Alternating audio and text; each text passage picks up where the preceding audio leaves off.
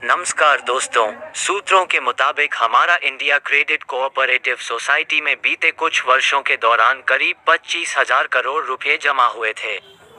इसे सोसाइटी निवेशकों द्वारा जमा की गई रकम बता रही थी। ईडी की टीम जाँच में सहयोग न करने की बात कह रही है। सूत्रों के मुताबिक हमारा इंडिया क्रेडिट कोऑपरेटिव सोसाइटी में बीते कुछ वर्षों के दौरान करीब पच्चीस हज़ार करोड़ रुपए जमा हुए थे। इसे सोसाइटी निवेशकों द्वारा जमा की गई रकम बता रही थी। सोसाइटी में निवेश करने वाले तमाम लोगों को जब परिपक्वता अवधि पूरी होने पर निवेश की गई रकम वापस नहीं मिली तो उन्होंने शिकायतें करनी शुरू कर दी। इसके बाद ईडी ने इस प्रकरण की मनी लॉन्ड्रिंग एक्ट के तहत केस दर्ज कर जाँच शुरू करते हुए सहारा के कोलकाता और लखनऊ स्थित छह ठिकानों पर छापा मारा है। कपूरथला इलाके में स्थित सहारा के कॉपोरेट ऑफ़िस में ईडी के अधिकारी लगातार दस्तावेज़ तलाश रहे हैं। हालाँकि इसमें सहारा के पदाधिकारियों द्वारा सहयोग नहीं किया जा रहा है।